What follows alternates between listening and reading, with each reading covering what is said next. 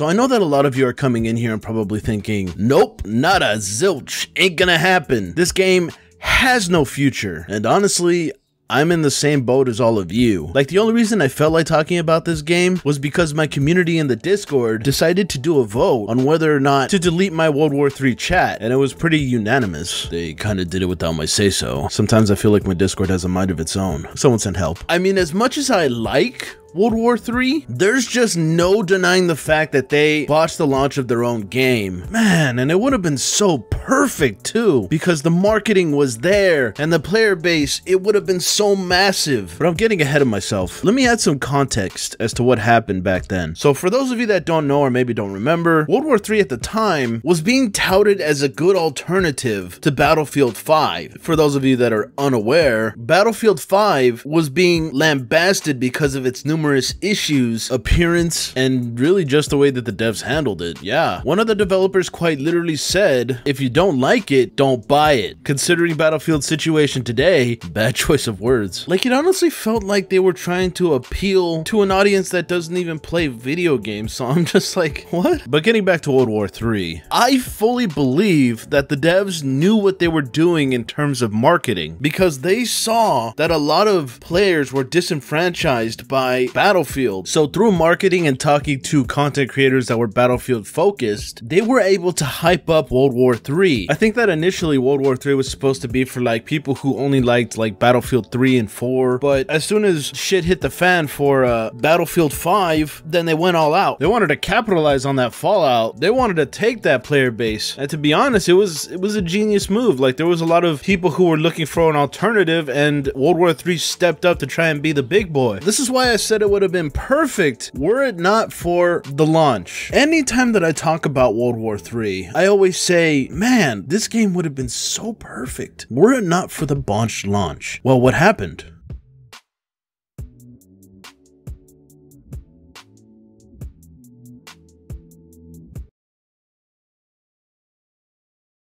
That's just it. Nothing. At the timing of the game's release, nobody was able to play the game. Why, you might ask? Well, nobody could even get into it. Yeah, the loading screens were so long. Like, there were reports of people waiting a full day before actually getting into the game itself. The loading times could have been anywhere from two hours to a full day. And even if you were to get into a match, there wasn't that many people inside of the server to really play against because people were still waiting. Such a tragic, tragic event to happen because there was so many people that were trying to get into the game and they just could not do it. If I remember correctly, this lasted about two weeks before anybody could actually get into it. But by then, the game already tarnished its name. I mean, that's bad enough, but I think the thing that really stuck with a lot of people is just the fact that there were a bunch of people who were testing the game ahead of time and they were warning the developers that there was a lot of issues with the game and that they should probably delay the game. But I think because of the whole marketing thing, they really wanted to have momentum going into their game. And so they decided to release it anyway. Now, if the game would have actually worked on release, I feel like the game would be in such a better state than it is now. But because it didn't work and they didn't listen to the fan base, not only did they tarnish the game by botching the launch, but they also lost the trust of their community and burned several others like me at that launch. When you lose the trust of your community, it is hard to come back from that. You know, what's interesting is that anytime that I drop a YouTube video on World War III, it tends to get a pretty decent amount of views,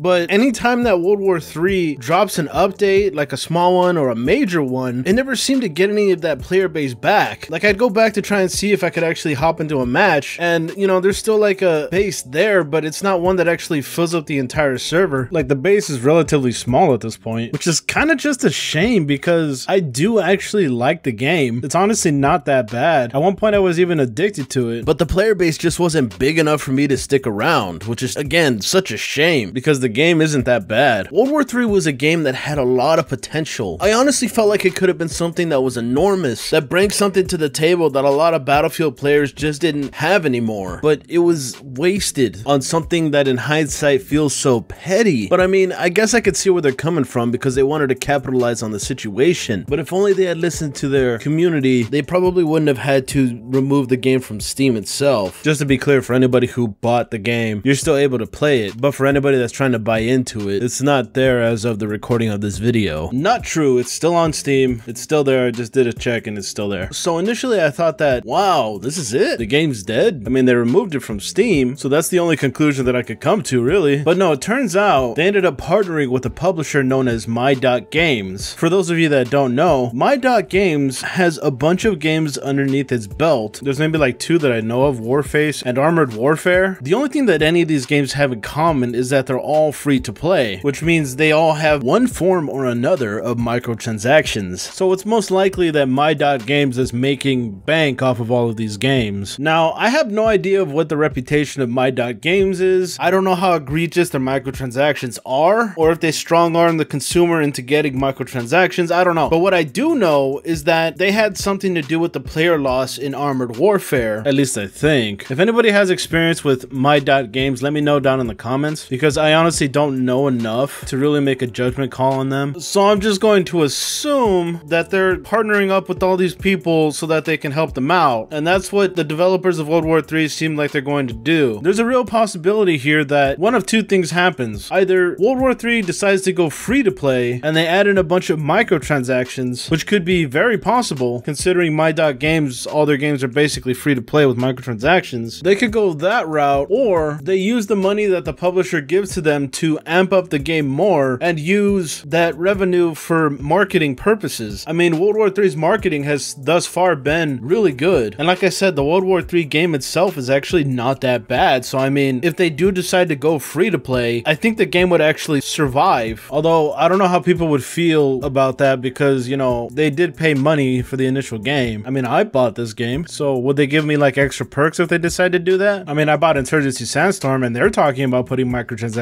in. Is that is that how it's gonna work? Like, I don't know. They actually had an article out and it says uh, players who have already purchased World War III will be able to continue playing unpeated. Does that unpeated mean that they're going to add limitations to certain people who haven't bought the game? Curious. With veteran status and valuable in-game cosmetics being rewarded to early access players upon the game's release. So this just might be a dead giveaway that the game might actually go free to play. Um, honestly, I think that this might actually be a good move for World War III. I mean, with the influx of income coming into the game, it's obviously going to give them a lot more time to make improvements to the game, add more things, make more maps, get more cosmetics. So it's definitely going to be a plus for them. But I'm not entirely sure how the player base is, well, whatever player base is left, is going to feel about that. Or maybe nobody really cares because I mean, there's not a whole lot of people that were in the servers anytime that I went to play. I think like maybe the very hardcore base that still sticks around this game is probably going to be okay with this. But I have to wonder what people are going to think, you know, the ones that actually paid money for that. I mean, me, I really liked World War 3. I felt that the content was there. There was a lot of uh, things that you could do in terms of like customization. The bad things really happened at launch when they didn't listen to the community and release the game anyway, along with content becoming scarce towards the end here. Aside from that, the game's pretty solid. It just needed that player base, which it never really got, at least from what I played. If you think otherwise, let me know down below. But yeah, when it comes to going free to play, I feel like I would be okay with this. But I guess it just depends on how they decide to do it. Like, is it going to be a game that creates really good looking cosmetics that makes me want to actually fork out money to try and get them? Or is it going to strong arm me by hindering gameplay or forcing me to get into some sort of like battle pass or whatever, strong arming the consumer into buying something because you have to? I definitely think that it would be a good move for World War III to go free to play because there's a solid game here and their marketing team is pretty fantastic. Honestly, World War III could be probably one of the best free to plays I've played in a long while. Not to say that there aren't any good ones out there, but World War III would certainly be up there. So World War III's future is looking bright with the influx of money, but only time will tell if the game comes back into relevancy. Will people remember what happened at launch? I mean, people do have short-term memory, so there's a chance that people won't even care, and they'll just take the game as it is. So we'll see. If you like the fact that I cover games like World War III, why don't you go ahead, like the video, share the video, and comment down below. What are your thoughts on the future of this game? Let me know, let me know, let me know. Down below, down below, down below. If you're someone that's new, be sure to subscribe and ding the bell. Or if you would like to support the channel, check out my Patreon. Just send two bucks a month. That's all I need. And with that all being said, I want to thank everybody for coming out to watch, and I guess I'll catch you in the next one. Bye-bye.